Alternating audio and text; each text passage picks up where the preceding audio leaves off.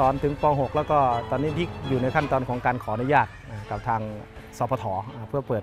ชั้นเรียนม .1 นะครับอยู่ในระอยู่ระหว่างรอรอคำตอบคำคำคำอนุญาตจากทางหน่วยงานครับ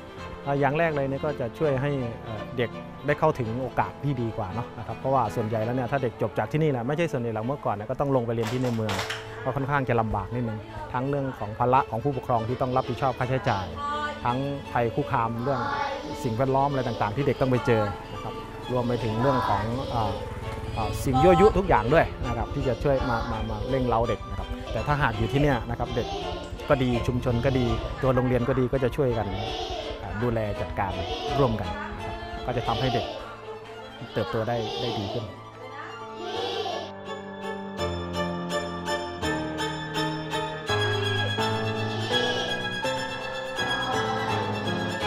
สำหรับพื้นที่ของท่าตาฝั่ง เพราะว่าหนึ่งเนี่ยเข้าถึงค่อนข้างจะยากโครงสร้างพื้นฐานค่อนข้างจะ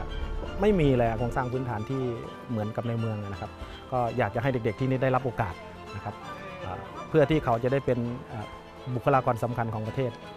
เป็นเครื่องมือเป็นกลไกเป็น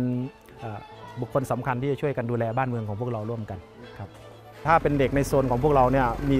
3-400 คน แต่ในในกลุ่มของโรงเรียนเราเนี่ยค่าเฉลี่ยอยู่ประมาณ 17% ที่ไปเรียนในในการศึกษาภาคบังคับในเมืองแล้วนะไปเรียนม .3 ในเมืองแล้วแล้วหลุดออกจากระบบดังนั้นถ้าถ้าตั้งที่นี่ได้อ่าโอกาสเสี่ยงตัวนั้นก็จะลดลง ก็จะดรอปเอาเป็นศูนย์เลย